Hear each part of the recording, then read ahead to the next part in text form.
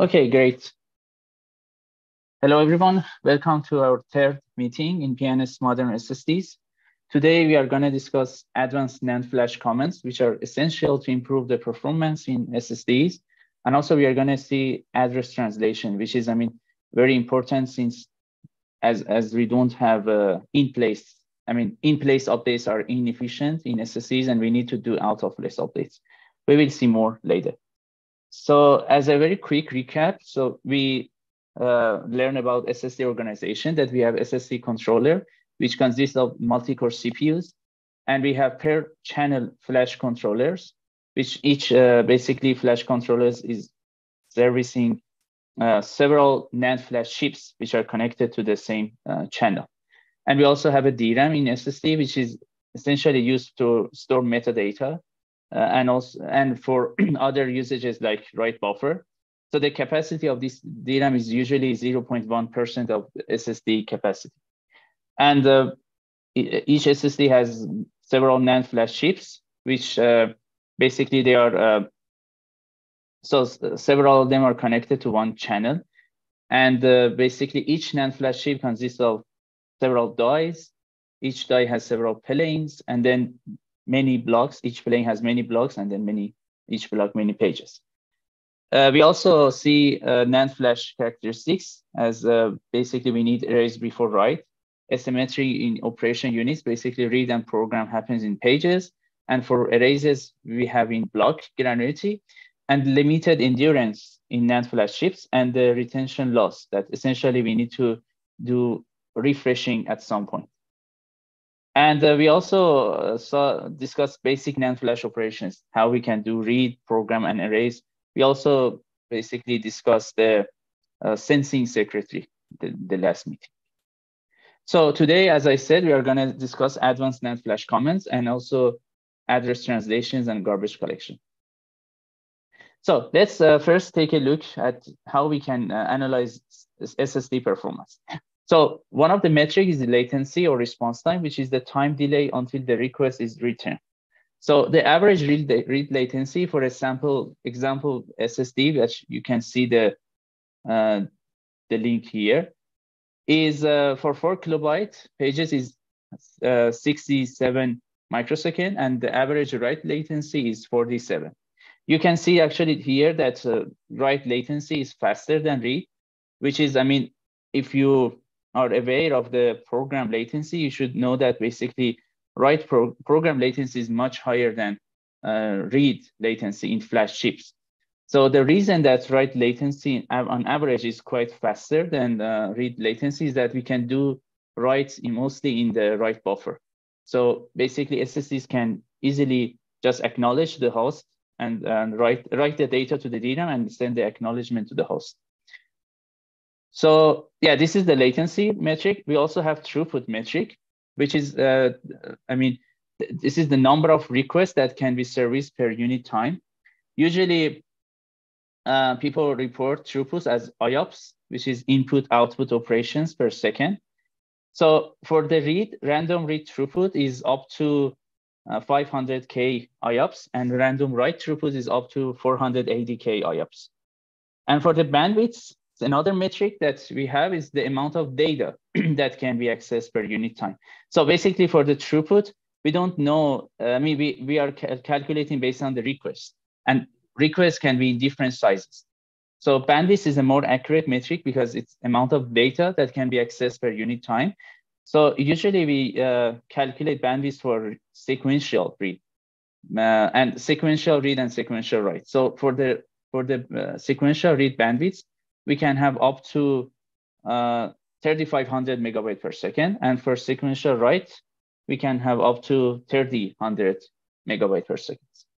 So as a comparison to, I mean, HDDs, we can see significant performance improvement for SSD. So for the latency, HDD is something around one to eight milliseconds. And for throughput, HDDs are around 1K, and for the bandwidth is 100 megabyte per second. So you can see, I mean, when we are talking about the SSD that they are significantly increasing the performance is uh, basically these are the reasons. And uh, another thing that we are going to see also later is um, not in this lecture, but maybe later is about uh, the, the, the interface that SSDs, they are using NVMe interface to basically make sure that it can utilize such high bandwidths. So in order to basically measure the chip operation latency, we have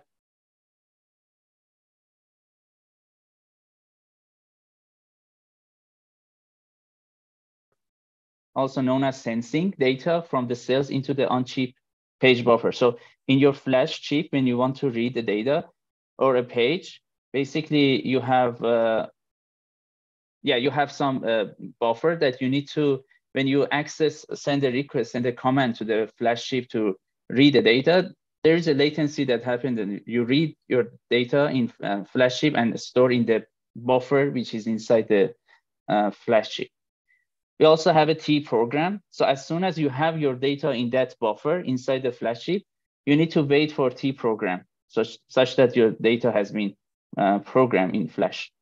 And also we have T uh, which is the latency of raising the cells, which is in the granularity block. So these actually latency numbers or parameters, they, are, they vary depending on the um, MLC technology. Are we using SLC, MLC, TLC, QLC, and also the processing node and microarchitecture. So in example 3D TLC NAND flash chip, TR is around 100 microsecond, T program is around 700 microsecond, and TBR is around 3 millisecond or 5 millisecond. Another important metric that uh, causes the, basically the throughput and affect the throughput and latency of accessing uh, SSDs is the IO rate which is the number of bits transferred via a single IO pin per unit time. So as so when you read your data uh, from flash chip to the to the buffer that you have inside the flash chip, you need to communicate your data to the SSD controller. So this communication happen with the channel that we will see later also in this course. And this usually this channel is considered as a, I mean, eight uh, IO, eight uh, basically uh, lines. And uh, so mm, the transfer happened in byte granularity. So imagine that basically your IO rate is one gigabit. Um, so, I mean, per one gigabit per uh, per second. So uh, basically, uh, when you want to transfer a 16 kilobyte page size, the transfer time, which is TDMA, uh, is going to be some, something like 16 microsecond because so your page is 16 kilobyte and you can actually send uh, one byte in a cycle in a, let's say in one nanosecond because your transfer rate is one gigahertz. And then uh, basically, so for the, uh, the whole stuff, you need to send 16K data, which in the end, you, will need, you need to wait for 16 microsecond. So this is also another important metric that uh, affect the performance of the uh, your accesses. So now let's see basically uh, what's going to happen when you want to uh, read data I mean the, uh, from the flash chip. So we have this TRT program and TPER, and also we have some IO. So imagine that you want to basically read the data, uh, read a page, 16 kilobyte page from a flash chip. So the first thing that you need to do is sending a command to the NAND flash chip that basically you want to read a page from this physical address. And after sending T command, you need basically NAND flash chip is going to uh, prepare your data, your pre uh, requested page, which you need to wait for TR, the sensing time. And after that, you need to transfer the data TDMA to the flash controller or the SSD controller. And inside the flash controller, you first need to do ECC, ECC decoding to make sure that your data is correct or fix some errors if you can. And, uh, and then after that, basically, you need to de-randomize the data because you know that uh, we were talking in the previous lectures that when we want to write to the SSD, you usually randomize your data just to make sure that worst case patterns is not going to happen. So basically, after reading, you need to also de-randomize to make sure that I mean you have your actual data. So the latency, basically, the command latency is usually so negligible, but for TR is 100 microsecond we have also, eh, these are for TLC, I mean, sample TLC that we were uh, assume. And TDMA is 16. ECC decoding is around uh, 20 uh, microsecond and randomization is you can also consider negligible. So overall, we have uh, uh, basically 130 second microsecond latency for read. And for program, basically what you need to do, first you need to randomize your data. When you receive your data, you need to randomize it. Then basically you need to do ECC encoding to calculate the, let's say parities. And then you need to basically flash control needs to send a command to the NAND flash chip. And this command is quite uh, basically, it's just, we are considering here as command just the write request with the address. But essentially the command for write is also, is both the address, the physical address, and also the data. So we consider that data transfer in, in TDMA, that basically you need to also transfer your data that you want to write to the flash chip and then T program. So if you basically uh, some of the, the main, the dominant one would be something around 730 second microsecond. So how about the bandwidth? So for the read, we are seeing that we can basically read 16 kilobyte in uh, 130 second microsecond. So overall, the bandwidth is 120 megabyte per second. And for write is 16 kilobyte in uh, 730 second, which is 22 megabyte per second.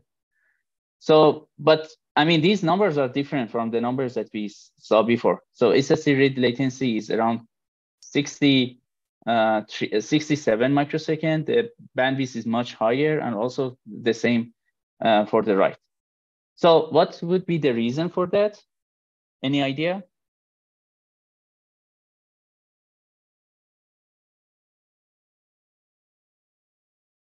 So for, for write, actually, I uh, mentioned before that basically we can we have a write buffer that can uh, essentially increase the bandwidth and uh, and the uh, performance significantly. And the same also for read, you can also utilize some parallelism that you have in SSDs.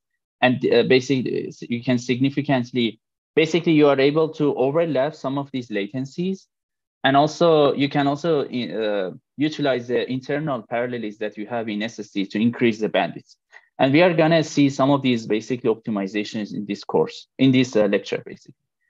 So as I said, we have uh, high internal parallelism in SSDs, and also we have a DRAM write buffer. Here, actually, I'm gonna also mention that DRAM SLC write buffer because usually for TLC, TLC and uh, SSDs, because basically TLC is quite uh, slow. Uh, people are using also SLC write buffer, which is this is a so for SLC write buffer you can actually have a huge write buffer because you don't have the issue for the uh, data integrity. So if something power cut happen, uh, you you have your data in SLC write buffer. But for DRAM is not the case. So for DRAM you need to add capacitors. So people are using also SLC as a write buffer, uh, also in modern SSDs. Okay.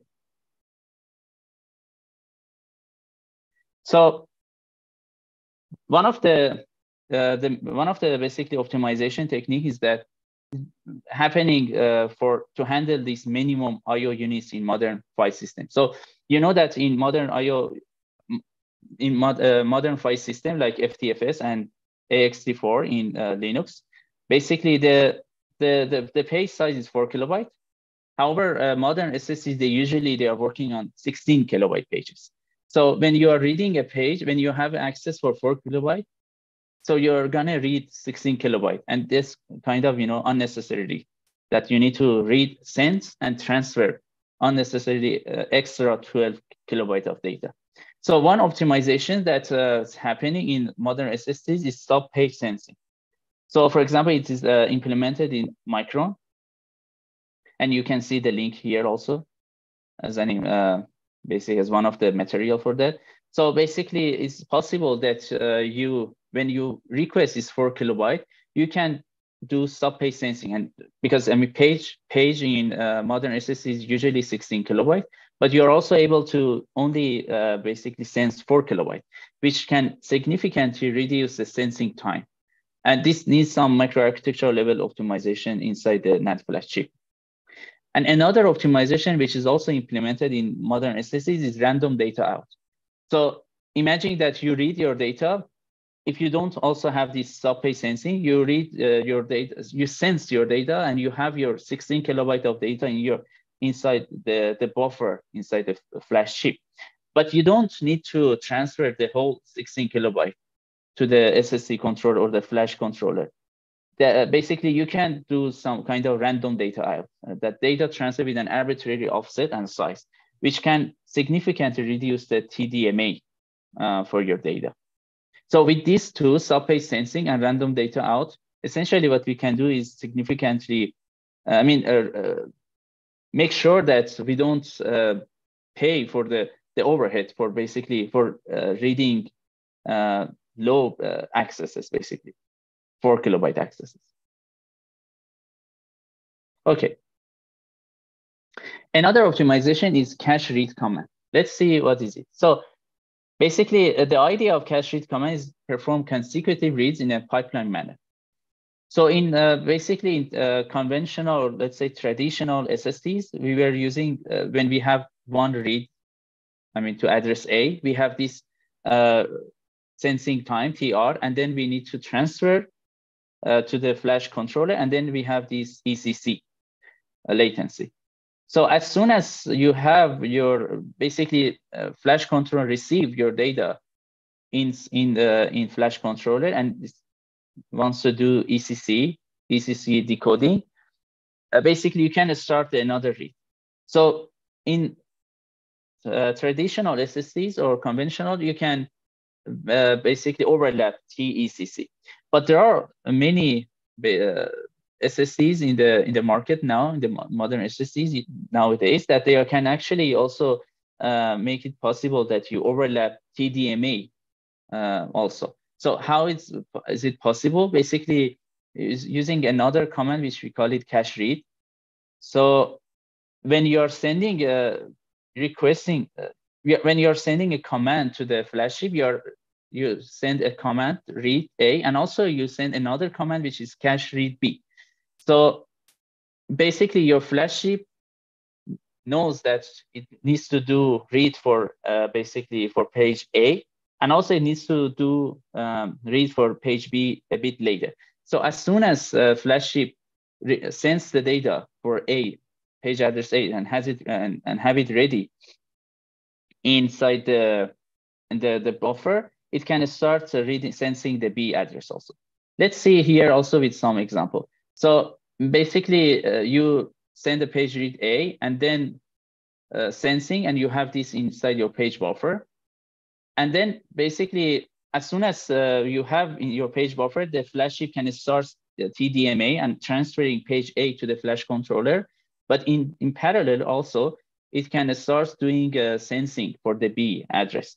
So as a consequence for, in order to, I mean, enable this uh, technique, you have to provide enough page buffer spaces inside your NAND flash chip. So basically, it, uh, it comes at the price of additional on-chip page buffer. See. Any question?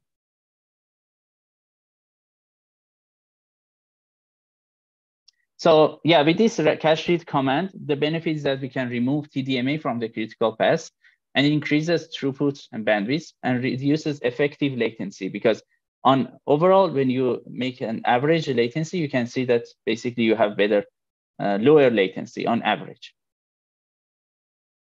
So I like to wait for a few seconds just to make sure there is no question. There is no question on YouTube and from Zoom.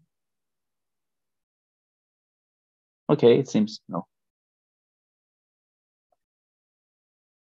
Okay, so another uh, operation that we actually covered it uh, briefly in the past also is multi-plane operations. So you can do concurrent operations on different planes in, in a in a NAND flash chip or NAND flash die. So we should should recall that basically planes they share word lines and uh, row clone, uh, row and column decoders. So basically, when you when you want to target a page in a plane, you need to apply uh, v uh, reference to that page, right?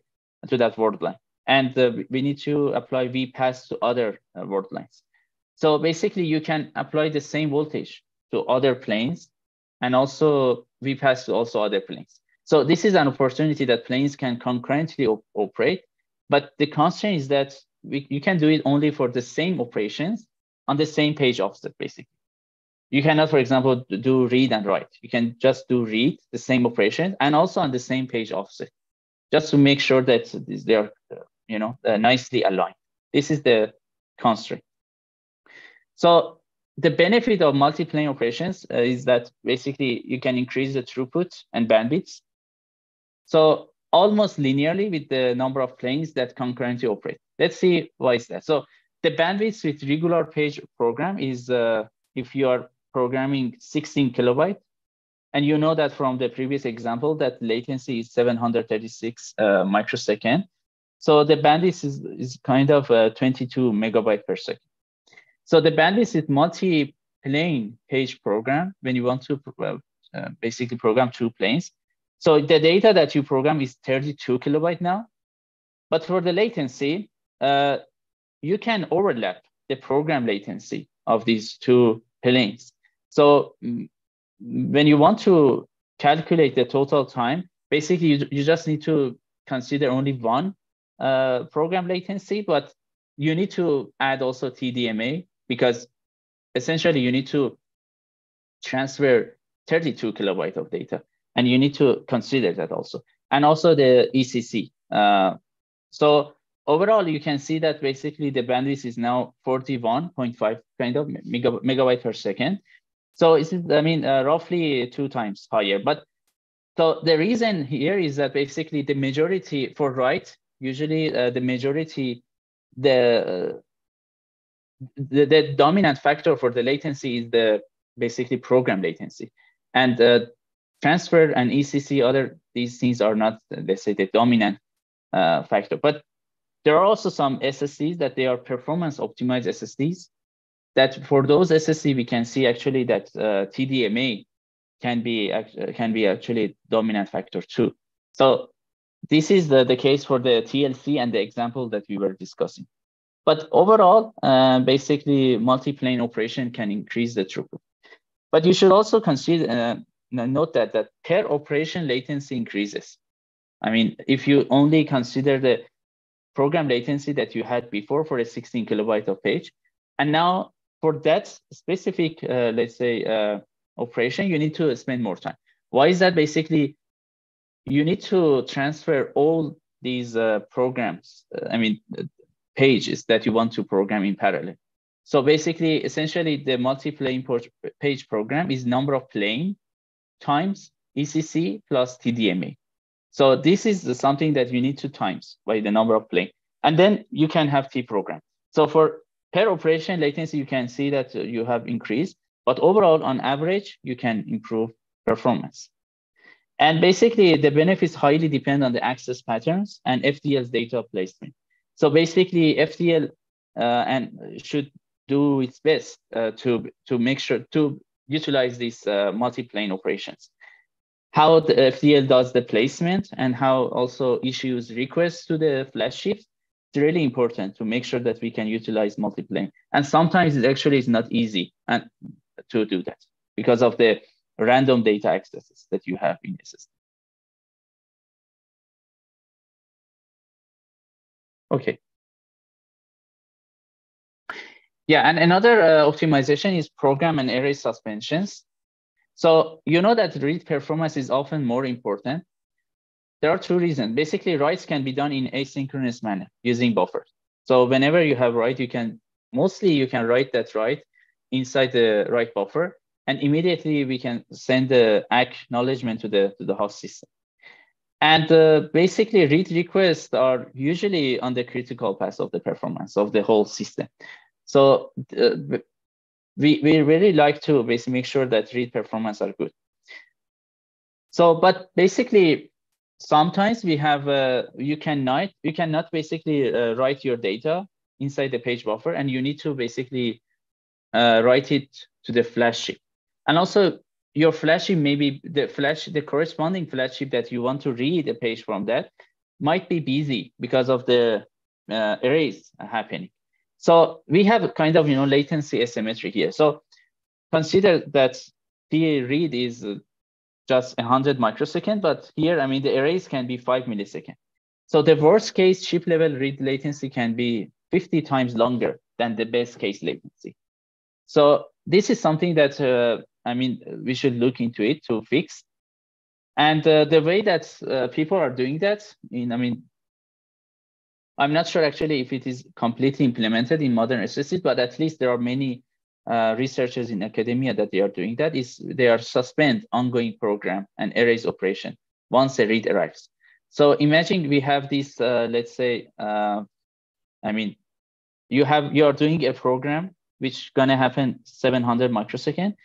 As soon as I mean, after 100 uh, microsecond uh, since you start your program, you receive another read request but this read request needs to wait for uh, an, another 600 microsecond just to yeah so such that that program uh, finish and then you can the flash chip can service read but the thing is that if you can uh, suspend the program so so for the you you program for 100 microsecond then you suspend and you service read and then you continue your program latency so overall, you can see the, the total latency is still 100 microsecond, not different. But the difference here is that for the uh, program latency, previously the latency was 700, but now is 800. But read latency previously was uh, 700, but now is 100. So you can see the overall uh, huge improvement happen here because of the because basically you're scheduling those requests that they can uh, happen faster. I mean, uh, first. So th this is also some uh, scheduling technique which is happening in, in, in OS also. OS there's usually programs and processes that they can be done quicker. You, you I mean, OS uh, usually prioritize them in the in the workload schedule. So yeah, significantly decrease the latency, but as a there are some issues also. So you need additional page buffer again here for data to program. Just make sure that because you suspend your data, your program, you just make sure that you have a buffer such that you don't uh, miss your data.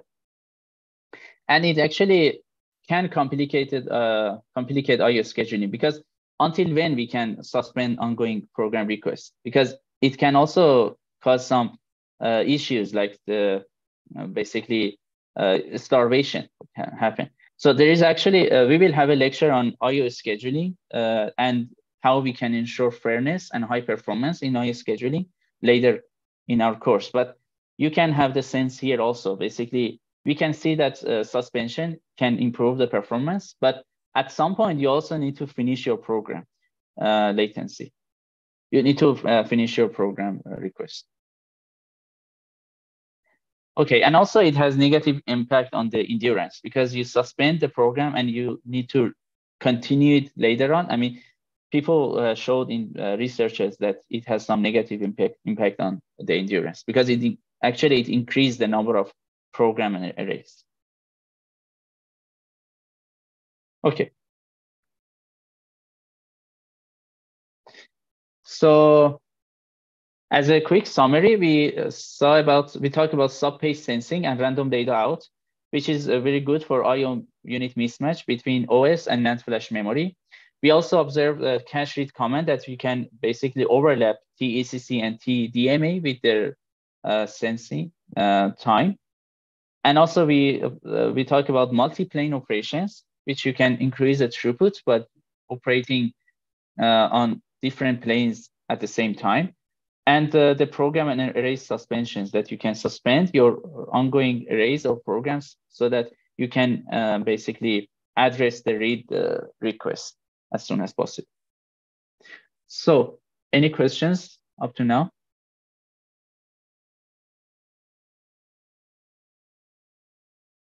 Okay.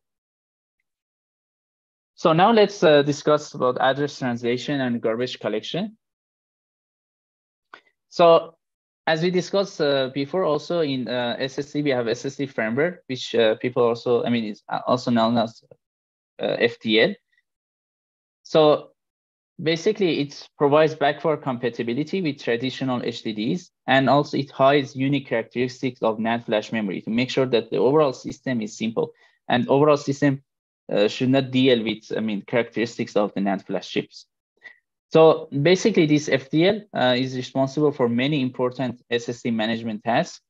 One of them is address translation plus garbage collection that we are going to see today.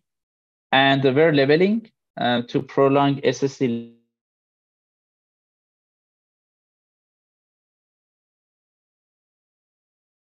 aged and hot by doing a lot of write and erase, program and erase, and some others are cold. So this leveling is really important. And data refreshing, which is to make sure that you, because of the retention uh, error that you have, you need to do refresh.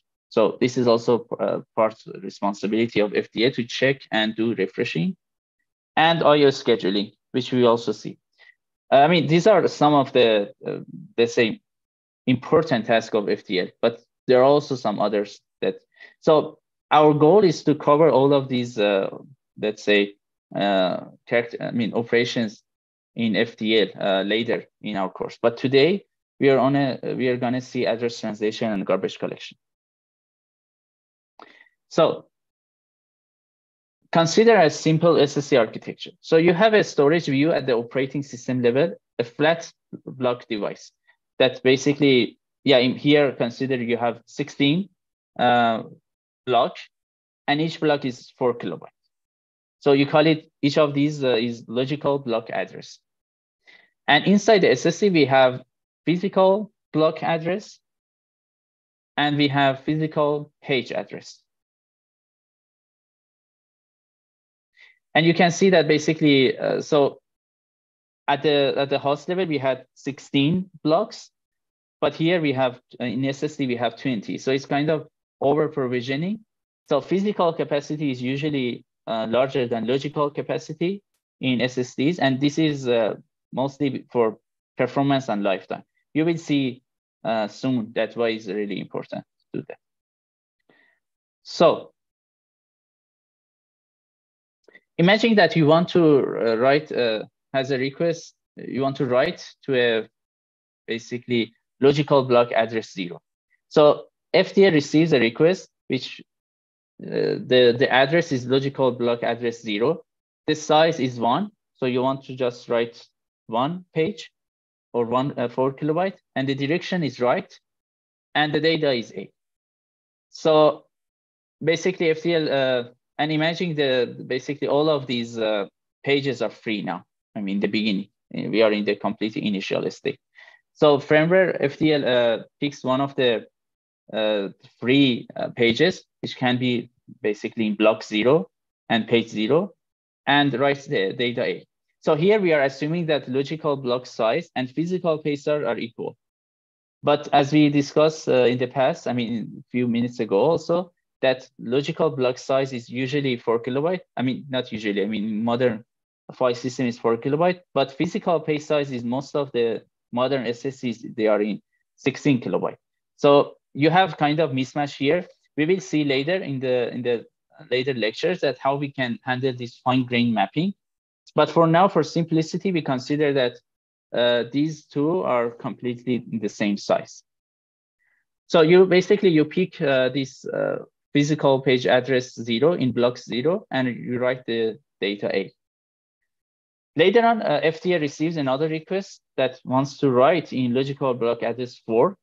The size is 12, so we want to write on 12 pages and uh, basically the data, which is from B to M, for example. So here, basically, you can assume, I mean, maybe you can expect that uh, if uh, is gonna pick block one, block two, and block three, and it starts uh, programming data from basically physical page address four, because it is, I mean, similar to this one, four. And uh, yeah, um, until this 12, address uh, 12. But I'm sorry, until uh, this uh, 15. But the thing is that uh, this is not happening. And FTL is basically keeps uh, writing to first use block zero and writes make sure that use all the free pages in block zero and it goes to block one and block two and block three later. So the reason is doing that is uh, basically for active block uh, issue, basically we should have should keep only one block being written.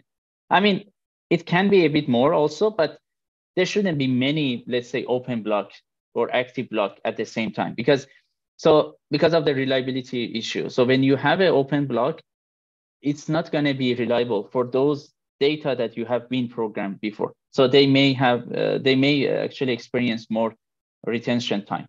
So the, uh, for this problem, uh, FTL is doing its best to make sure that all of these, uh, so the, the block which is active, which is open, we want to, uh, to write pages to it as soon as possible. And another issue is that we should make sure that we keep the program sequence constant. So we, we cannot, for example, program uh, page, let's say three in block zero, page three, and then page one. We should keep the, the, the program sequence. That's also because we have cell-to-cell interference. And uh, if you don't, uh, I mean, consider that you, you may have issued some, you may have uh, induced some errors to already programmed data. So these are the basically recommendations from the uh, from the, in, in, the data sheet of NAND flash chips that basically you should uh, do that to make sure that you can use your NAND flash chip in a reliable manner. So now uh, the problem is that you can see some mismatch. So the logical block address is uh, four for B, but the physical address is one. So basically they don't they don't match. And we need to so when in the in later on if you receive a read request to logical block address 4 you don't you should uh, basically figure out where is the physical page address for that. And for that we need to maintain address mapping information. So there is a table inside the DRAM buffer uh, that we uh, have we keep the mapping table the logical to physical mapping. So for this we know that for example we keep the mapping uh, information that logical page address 4 is mapped to physical page address 1. And with that, you send the request to physical page address 1 and you read your data. Okay. So imagine that you receive an update in your logical block address 0 that previously it has I, uh, um, the data was A, and now you want to uh, write a new data, which is A prime. So FTL picks another free page, which is here uh, physical page address 13 as an example, and writes the data A prime. And then we need to update the mapping table. We need to basically do two things. We should make we should invalidate the, the previous copy of this data in this uh, logical block address. So this is going to be invalid. And then we uh, need to update the mapping table. So logical page address zero is now mapped to physical page address 13. So future read, if happen to this address, we need to access the 13 uh, physical page address. So imagine you receive more updates to this uh, basically uh, logical block address, and you keep basically doing invalid invalidating and uh, writing to new uh, free pages. And at some point, you can see that we are running out of free pages. And that's the thing that basically in SSDs, usually we have uh, kind of, you know, over provisioning to make sure that basically we have more space and we have more freedom to handle these, uh, you know, the out of place updates. But in the end, it's gonna just, it can delay, uh, you know, the, the need for something that we are going to see soon. I mean, the garbage collection. But but it's good that I mean uh, you can improve performance by that also. But at some point you're running out of free pages and you need to reclaim uh, free pages, and that's the job for garbage collection. So we need to reclaim free pages by erasing invalid pages. So the erase unit, as you know, is block. So if a victim block to erase has valid pages, because they can also have some valid pages, all the valid pages need to be copied to other free pages. This means that you basically, in order to be efficient, you shouldn't uh, start garbage collection once you're completely run out of free pages. So you should have a kind of threshold that and, uh, and a strategy that, okay, once we have, uh, you know, we are using, we already use many of the pages and we don't have enough number of free pages, we should invoke uh, garbage collection.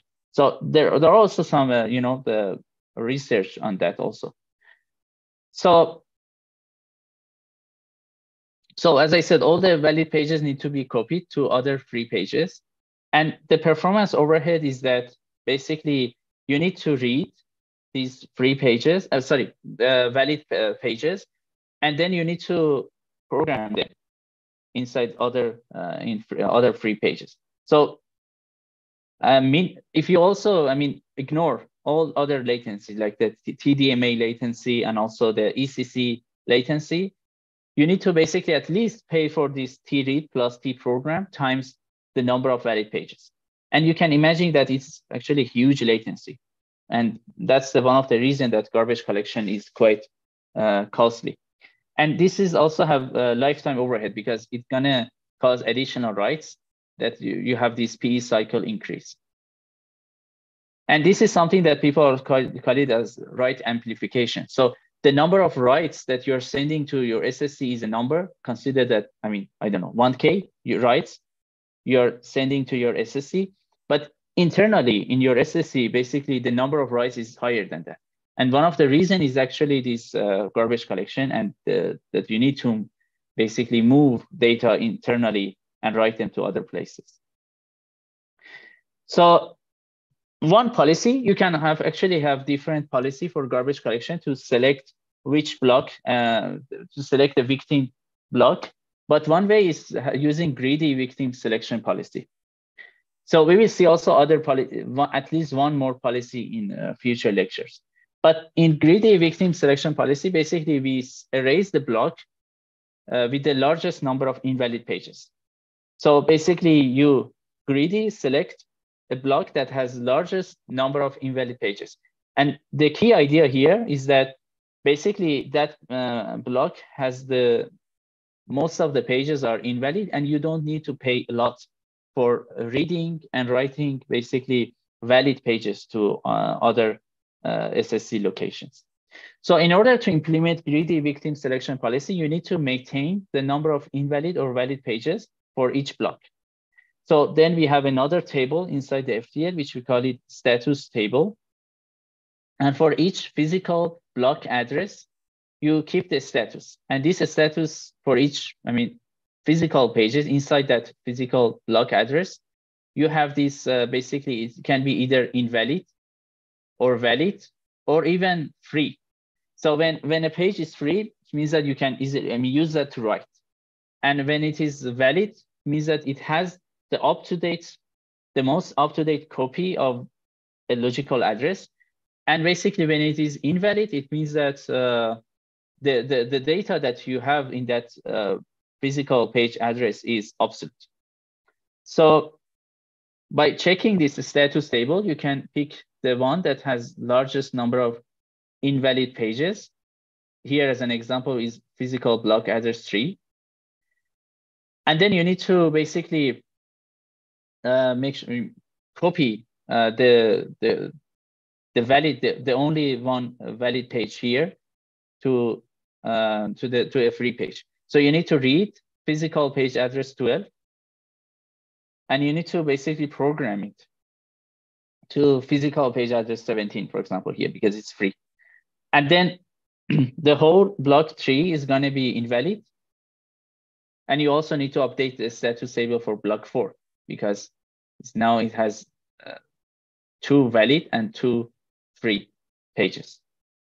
And also then you need to also update the mapping table. So previously, uh, this physical page address 12 was mapped to logical uh, page address 15. But now you should basically make sure that this logical page address 15 is mapped to 17. But now it's a question, basically how FTL knows that physical page address 12 uh, or data M is mapped to logical page address 15. Because I mean, this mapping table is uh, the opposite way. So when you have the logical page address, you can basically uh, query this mapping table and realize the physical page address. But when you have the physical page address, basically unless you maintain the physical to logical mapping, you cannot uh, realize that which, what was the logical page address for them. So in SSD, usually physical to logical uh, mapping is stored in, a, each, in each physical pages out of band area.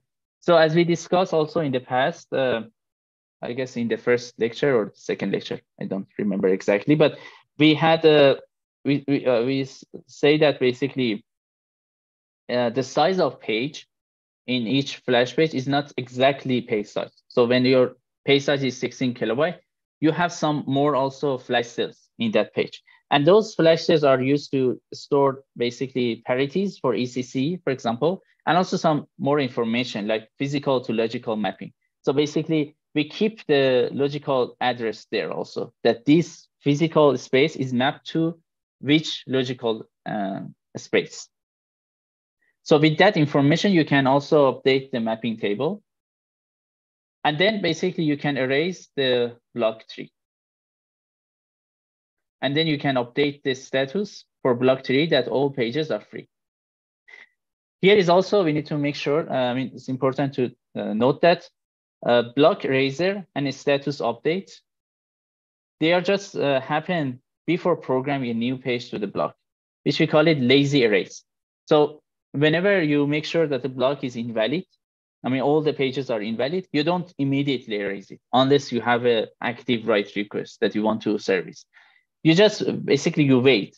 And at some point when you have some uh, active write request, you're gonna erase your block because this is exactly due to the open block problem that we also see, we, we've seen before. So you don't want to, when you erase a block, you make it open and it's ready to program. So basically it's not good to keep a block for a long time open. So to, in order to deal with this issue, we uh, use lazy erase.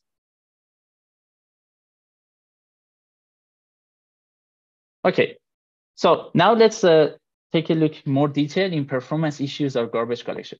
So as we discussed, garbage collection significantly affects SSD performance. It has high latency because of, so large, in modern NAND flash memory, we have large block sizes. Assume a block contains 576 pages that can actually, uh, from the previous example, and imagine that just 5% of the pages in the victim block are valid.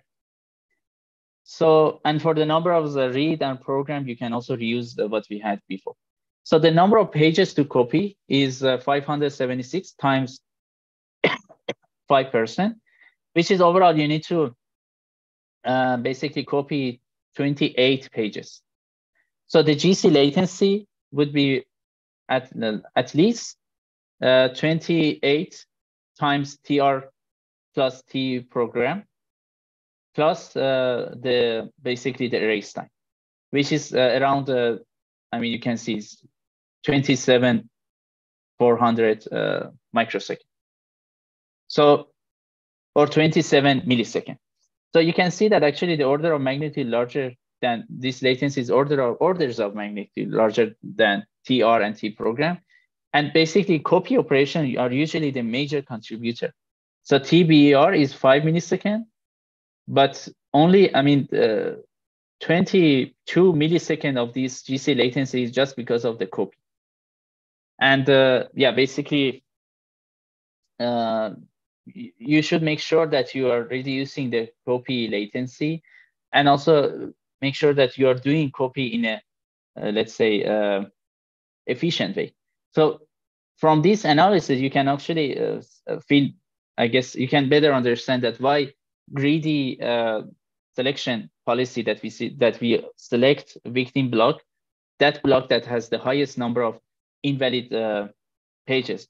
Why is that? I mean, why it's good? So you want to make sure that you reduce these huge copy latencies.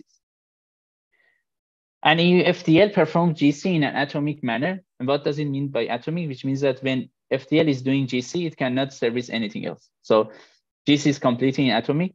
It delays user requests for a significantly long time. And it has long tail latency, which is uh, happening as a performance fluctuation. So if you, for, uh, I mean, traditional SSD, if you uh, make a, I mean, observe the latency of your request, you can see that at your requests are servicing a good time. But as soon as you have this uh, garbage collection invocation, you can see the performance significantly drops. And this, uh, so if your requests are, let's say, are not lucky, and they happen when GC operation is happening, you will uh, basically experience a lot latency, which you can consider as a tail latency. And this is also another problem, which uh, because of the noisy neighbor, that a read dominant workload performance would be significantly affected when running with the write intensive workload, which is, I mean, the performance fairness problem. We will also uh, see in that the lecture of IO scheduling that how we can at least uh, handle these issues from the scheduling part. But uh, apart also, you need to make sure that you are doing garbage collection in a better way. So uh, yeah, quickly see also the performance, how we can mitigate these issues. So there are uh, several techniques. One very important technique is trim or unmap or discard command.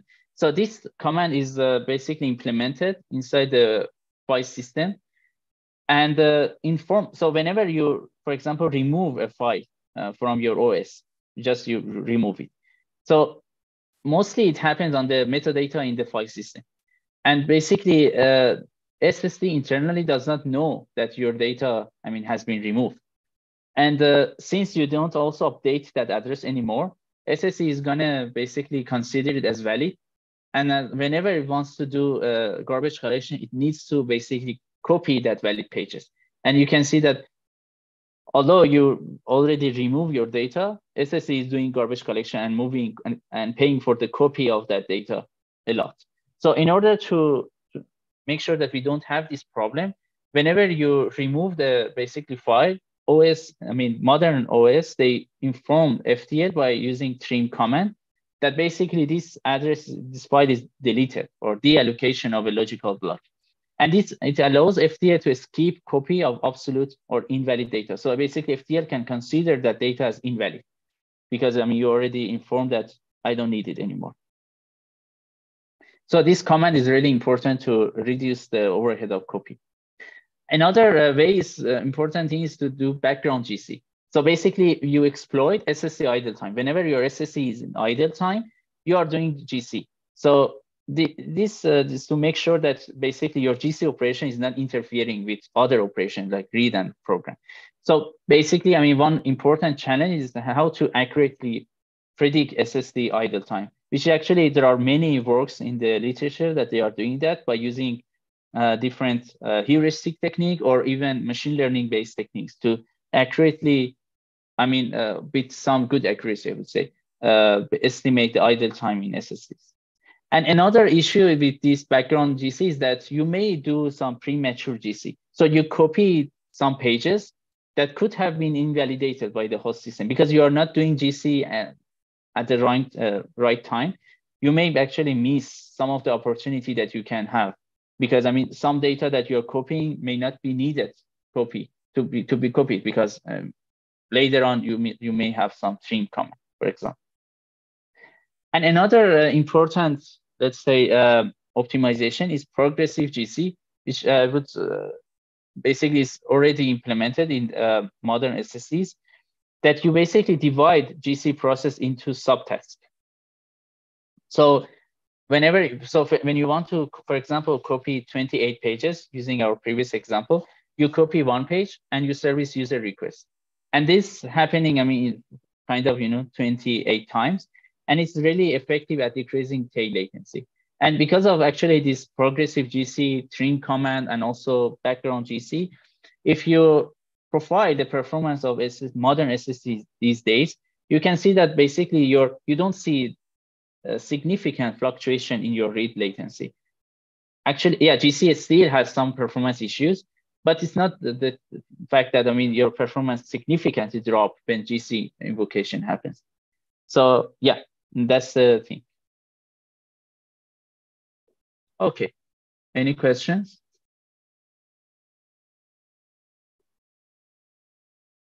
Okay, so if there is no question, I guess we are kind of done. So uh, there are some required materials regarding address mapping, uh, DFTL, which is actually one of the old paper in this direction.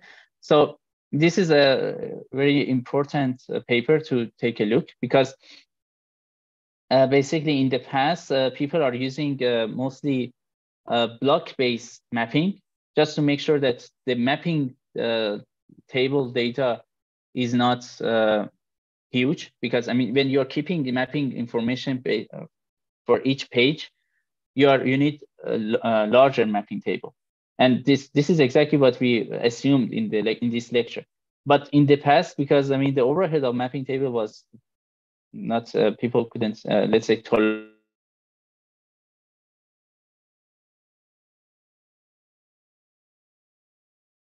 optimized SSDs, they were using a block-based mapping table. But then later on, there was a, a work that's named, I mean, DFTL that shows that basically if you use a page uh, mapping table, and you use the DRAM buffer as a kind of cache to cache your basically um, mapping table information, you can still have the performance of keeping page uh, mapping table inside the DRAM. So this is actually a very interesting uh, paper to take a look. And also for cache read and read, read write, I would suggest that you check the paper in uh, our uh, from our group in S 2021. Uh, and for program and erase suspension, there are also some papers that you can see here and you can read and uh, learn more. Okay, so yeah, if there is no questions, I guess we can wrap up today's meeting. I would wait for a few seconds just to make sure there is no questions.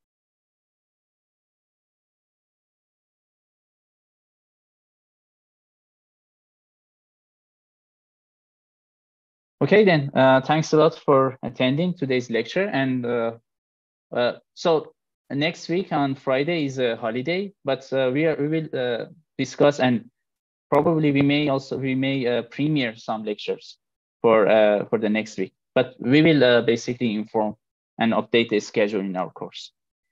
So yeah, have a nice weekend and see you all next time.